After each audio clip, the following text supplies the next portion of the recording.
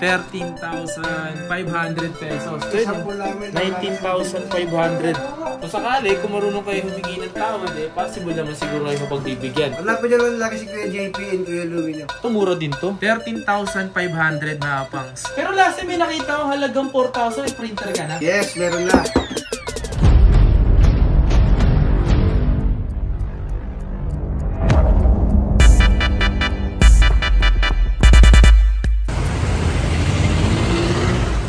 Guys, dito tayo nagbabalik sa may Gilmore kung saan ito ang bilian ng mga murang computer.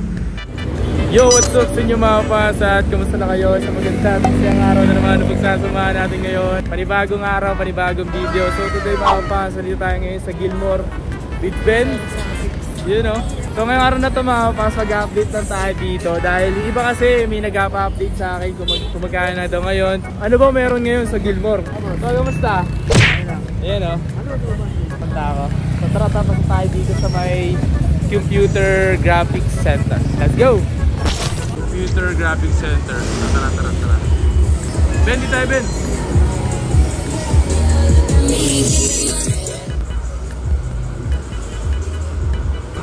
Kuya JB, kamusta? Ayan o. Kulang eh. Kaya nga eh. So gagawa tayo ng video ngayon para makapag-update mo lang dito. So guys, dito tayo, papakit tayo. Hindi din nata, kaya natalo no. Yung mga murang laptop dito. Tino mo, murang laptop eh, no? second hand, 9,500. Ah, i3. Go, andito na tayo ngayon sa pupuntahan natin. Ayan, so dito tayo ngayon sa may Tech Depot 88 Computer Trading. So pasok tayo dito. Kayo mahiya? Hey! Gusto mo ba kumita ng easy money at limpang-limpang na salapi? Ito ang 1xBet, isa sa mga trust sa Pinas at sa ibang bansa. At kung gusto mo mag-register, i-click lang yung link na nakapin sa may comment section at gamitin ang promo code na kapangs. At kung gusto mo mag-bet na pa PBA, NPBL, NBA, or UFC, kung ano-ano pang sports, available yan sa 1xBet. At sa unang deposit nyo, maaari kang makakuha ng bonus up to 7,000 pesos. Napakadali lang mag-deposit at mag-withdraw. Gcash, Paymaya at crypto. Pero dapat mag-responsable ka sa pag-bet. Okay, so yung mga paps, salita tayo ngayon sa may Techie Tech Depot mga paps. So ngayong araw na to mga paps, salita tayo para mag-update sa inyo. So, yung iba is talaga naghahanap talaga ng mga desktop, ganyan-ganyan, na presyo mura at presyo abot kaya. So dito mayroong ganun mga paps. So ngayong araw na to, ah, tutulog pre, tinaw. May tulog dito. Hoy! Oras ng trabaho nagpunta. Diyos ko naman talaga.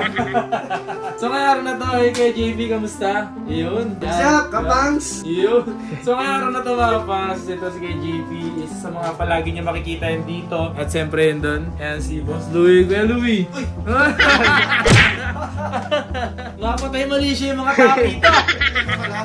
Oo, kanina pa ako eh. So ngayong araw na to mga pangs, ito, yung mga presyo mura tayo mapakita at kung ano yung mga yun. Kuya JP, ah meron kayo bang mga mura dito or mga presyong bumababa? May mga bumababang presyo ngayon? Alam ko lang siya bumababa eh. Ano? Yung pagmamahal ko eh. Wow naman! Hindi, meron pa rin tayo papakitang ano Ah, ah. presyong mura ito. Meron meron siya dito mga pansin, no? 13,500 pesos. Ito sa 13,500 pesos, ano-ano yung mga Nilalaman niya? nilalaman nito? Pwede ko ba makita or may mga sample ka bang pwedeng Pwede pakita naman. niyo? Oh. Ano yung meron? Ah, tulad nito, um, Yan. ito yung processor niya. Ito yung processor. A6. A67480. 80. Ayan yung processor. Ngayon, sa processor, kailangan yun ng motherboard. Motherboard, ano yung motherboard na yan? Ah, motherboard natin, pwede tayong gumamit ng MCTEC. MC Tech. Ano? or- Parang ngayon ko lang nakita to ah. Ito kasi yung bago niya ngayon na ano eh. Ah, bago. Mm. Dati di ba yung mga gigabyte, MSI, and mga colorful. Tsaka malupit dito, napansin ko, dual storage na to. Oo, So, yes. magaganda ang mga pants, meron siyang 500 gig HDD, tapos meron siyang 120 na SSD. SSD. Yes. Ganda ah. Ito yung SSD niya. Wow. 120 gig na SSD, Mm. gigabyte brand. Tapos 8 gig na RAM. Yes, memory, Kingston, Kingston. or anything. Kasi mga keyboard yan mga pants. Keyboard natin, A40. A40 na keyboard. Napakatibay po talaga. Tapos ang malupit pa dito, ito yung mga case mo. Yes. Ito yung standard case. Yes, standard case. Pero pwede naman kayong mag-upgrade kung gusto nyo ng mga medyo medyo kagandahan ng case. Ito, ito, Yung mga ganito. ilaw-ilaw. Tapos yung gilid is tempered na. Gilid. Ano yung mga magdadagdag na sila kahit magkano dito? Konti lang. Konti lang. Mapapag-usapan ako kahit konti. Yung monitor, Monitor ah, natin, size- actually size standard natin, 19 inches. 19. Oo, 19. Pero pwede rin siya mag-upgrade ng mga 22. Yan, ito, ito yung 22. So, Yung ganda. 22 namin, frameless talaga. Nakikita Grabe, ko ayun. yung quality niya ha. Frameless na talaga siya. Yan, oh. Open sesame, View Plus brand. Tsaka frameless talaga. Oh, frameless na po siya. Yan, oh. Ay, Nice. pantes yan, pantes. Maganda, maganda. Eh, yung mga pangs ha. Kung nga pala, balita ko bumaba, may bumaba rito sa Ryzen. Ah, Ryzen natin. ah. Bumaba yung presyo ng Ryzen, Ryzen 5 4600G. Ayan. Yan. So ito mga pangs, pang gaming na to, di ba? Yes, opo. Pang gaming, yan sa mga naglalaro ng mga LOL, Valorant, mga kanilang laro eh. Yes, Yan, mga Rose. Dota, Rose, tsaka yung, siyempre yun ba, nag-edit ka man. Pwede yan, pwede. Pwede, pwede na rin to, di ba? Yes po, opo. Ayan, sa mga online class, pwede, pwede to. Kasi pinababa natin yung presyo eh. Ano ba yung mga presyo bumaba rito? Paano bumaba ba dito? Ito, ito. So, ito siya mga ponso. Ryzen. 22,500. Yes, dating, Complete set na talaga to. Yes, dating 25 plus yan eh. So, presyo dati nito, 25,000. Yes. Bumaba siya, at least Yes. bumaba, no? Grabe. Kaya nararamdaman ko rin ang hirap ng buhay sa pagkakakitaan. Ba, alam niyo naman tayo, Pinoy. Pinoy. yung Ryzen 5 mga ponso, Ryzen 5 4600G. Yes, opo. Yan. So, pwede mga ponso, meron siyang dual storage na rin siya, 120 gig. Tapos, 8 gig uh, DDR4, 3200, tapos 19. Halos complete set na yung mga ponso, basta complete set na yan. Mm. Yan. Isa-isa mga mura dito. Yes. Then, pero sa presyong pang estudyante talaga, presyong pang estudyante, student, meron siya ditong 13,500 mga boss. Napakamura na yan at di ka na talaga lugi dyan, di ba? At meron tayo sumunod dito is itong, tumura din to, 13,500 mga boss. So, yung nilalaman din nito is yung kinaibahan lang is yung Processor. processor niya lang. Ano yung processor nito? Tatanda ko yan, 80. Ayun o. AMD A8 siya mga pangs. Ayan. Tapos yung pares lang din. Pares lang din, safe lang din sila. Ah, pares lang din sa AMC Tech FCT, motherboard. colorful, gigabyte. Okay. So yung nga mga pangs, ito yung power supply niya. So YGT power supply.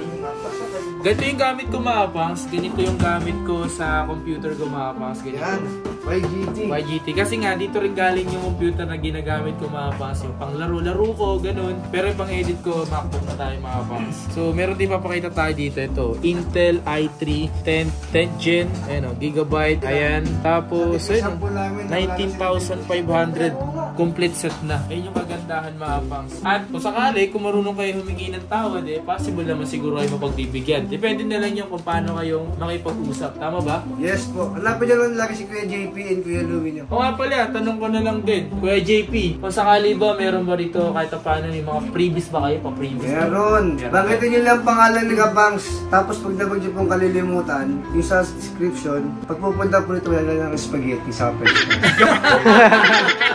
Joke lang, joke lang. Yun lang. Ito yung 19,000. Ito yung processor niya, 10 Gen na i3. Ano yung motherboard nito? Pwede ko ba makita? Ah, motherboard niya. Oh, motherboard. Video-video mo ako para makita. Ano?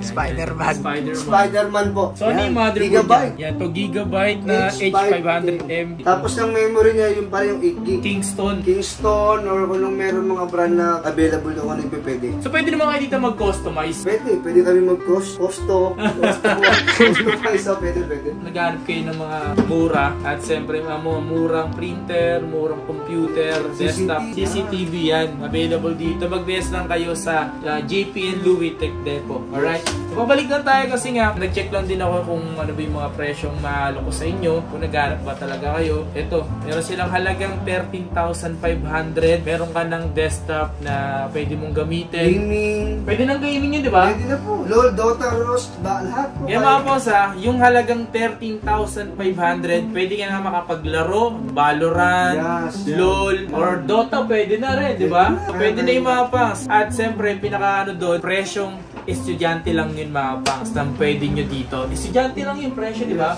Pwede na yung mga pangs. Kung sakali naghahanap kayo, available yan sa Maytech Depot. Okay, so yun mga pangs. Meron din sila mga video card. Kung sakaling gusto nyo rin palagyan ng video card, ito yung mga motherboard nila dito. Mga pwede nyo pagpipilian mga pangs. Okay. Dito po, nakabaki dito, dito. So yun nga mga pangs, meron nga tayong pinang regalo sa aking ama. Ah, which is yung printer mga pangs. Pero natin nabili yung printer na pinangregalo natin sa aking ama, sa aking tatay. Kasi kailangan niya daw ng printer. Dito yan sa may Tech, Tech Depot mga pangs, 88. So, eto siya mga pangs. So, eto. Ito yung mga printer nila dito. So, meron silang Canon, Canon, Canon, Epson. So, itong mga to, itong ganitong Canon, nasa magkano yung ganito tol? Ah, yung presyo natin para mas mababaan pa. Baba natin. Yan! yung presyo natin, siguro pag pumunta na siguro dito para mas masurprise sila. Ay, oh, grabe. Para masakit. masurprise kayo. Pero last time may nakita ko halagang 4,000 ay printer ka na. Yes, meron na. Diba? Yes. Ito yung meron sila dito. So meron... Continuous. Ano ba yung nabili ko dito? Pa, ano ba yung? Pa, 4 in 1 ba yun? Parang yun, di ba? 3070s with Wi-Fi na. With wifi na yun. May so may ganun. Sa presyo mga pangs, para mas maigi. Kasi mura na naman talaga yung mga printer Yes, nila. Mas maganda puntahan nyo sila. Or ito pinakamaganda, mag-message kayo sa Tech Depot. Yung JP and Louie. Tech Depot. Nandiyan sa may screen. Ang link nasa description. Check nyo na lang. Mag-message lang kayo doon para sa ganun. Malaman nyo yung mga presyo ng mga printer nila dito. Alright, kung naghanap kayo. Ito ba? Ito, sir, ah, pinakikilala ko lang po yung bago namin technician, si Jun Arrogancia. Ayun. Pag bibenta po ng mga printer at may mga tanong po kayo kay Jun Arrogancia lang po yung tanong. Ha? Shoutout nga po sa asawa ko. Love you. Okay, so yun nga mga pangs, that's it for today's video. Sana nagustuhan nyo mga pangs. Kung sakali naghanap kayo ng murang desktop na computer, available din dito, printer, CCTV. Yan, punta lang kayo dito, hanapin nyo na lang si Kuya GP. Poging-poging Kuya GP.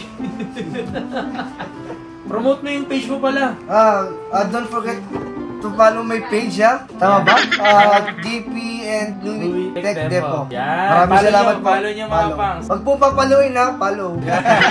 So kung nagustuhan nyo to, don't forget to like, subscribe, and hit the notification bell para like kung updated. Every time na may bago tayong upload. And once na wait natin 100k subscribers, yung mga papag-giveaway tayo, mga cellphone, ganyan-ganyan. Malalaman na natin yung once na ma-reach na natin yung 100k subscribers. Malapit na yan mga pangs, mag-subscribe ka na. Alright, kasama ko si KJP ng Tech Depot 88. Alright, night, baby. Bams. Yeah.